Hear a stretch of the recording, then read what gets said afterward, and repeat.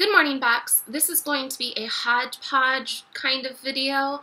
Um, this is some of the footage from the Big Latch On. Some of it got lost, but I hope that you enjoy um, the Big Latch On. And for those of you who don't know what the Big Latch On is, the idea was to set a record for the most number of um, women breastfeeding simultaneously. So um, here is our footage from that day. All right, we are here and we are early. And this is really cool, you guys. Look, shaded parking, but that is, um, what is it called? UV, why is solar power? Those are so, solar power panels, which Arizona is the perfect place to have solar power. So that's really, really cool.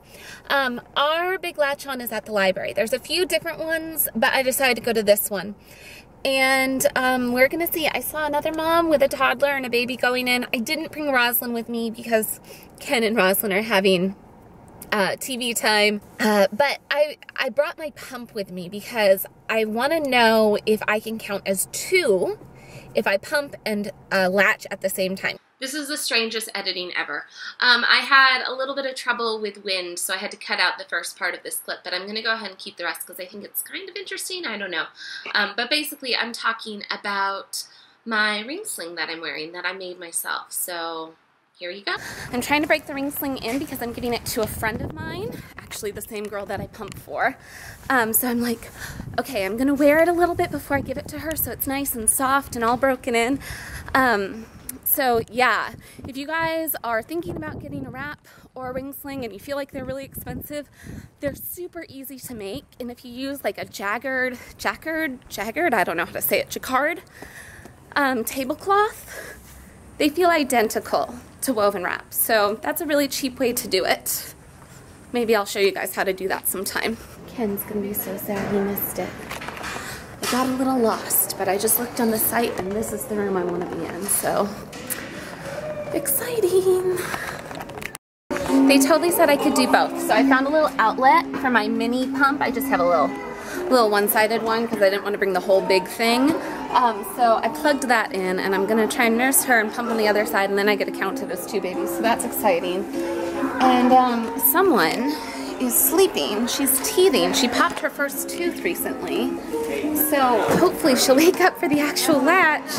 Have to do little tickles or something.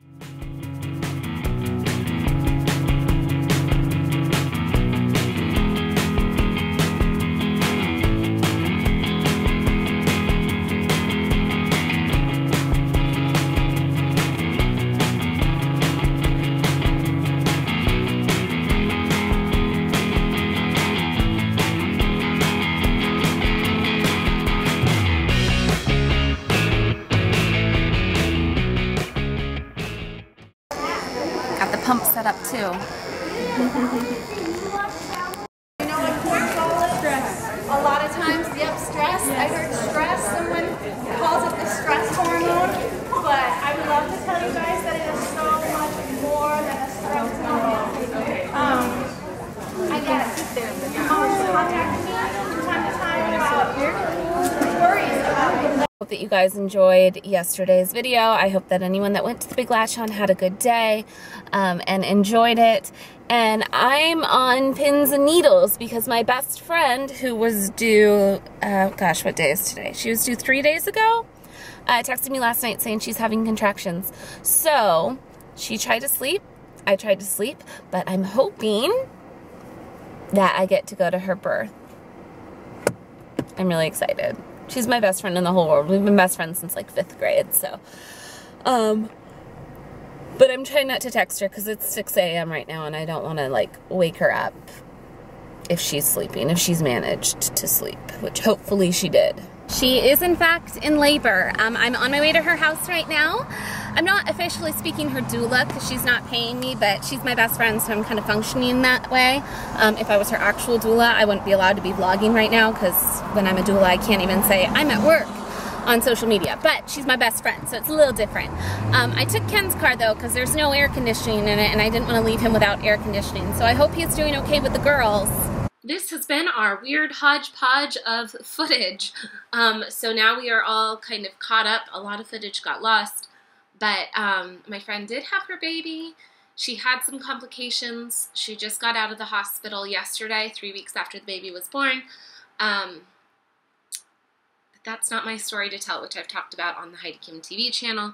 Part of the reason why I've been a little bit absent. There are other reasons as well. But I hope that you guys enjoyed this, and maybe we'll get back on track now that things are kind of caught up, um, especially since we lost so much footage. So we'll talk to you later. Bye!